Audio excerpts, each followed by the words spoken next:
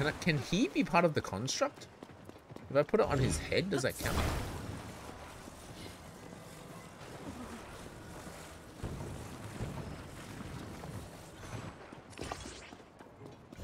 I've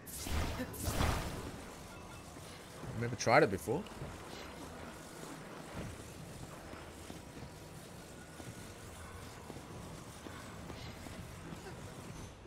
Alright, I'm using Addison's head as part of the stabilizing platform. So let's see let's see if it works. He won't talk to me though. there we go. Thanks for your help earlier. I can't stand here forever. I've got more signs to spread around. I don't know what to do. Try letting go.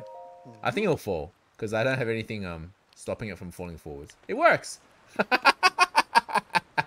His head's part of it. He's got a strong head. Can you use Addison's head as part of the construct? Yes, you can. Not that it's a good idea. Most of the time wouldn't make sense. Perfect, he says.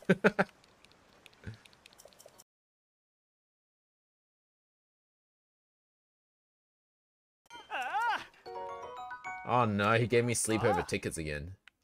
Looks like I gotta stay over his, his house again. Since I have the tickets, I can't say no.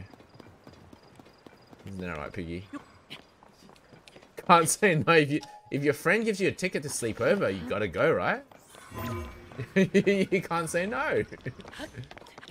That's just rude. Sometimes they stay forever. That's what happened with Piggy. I gave her sleepover tickets, and then she just kind of stayed. I, I used Addison's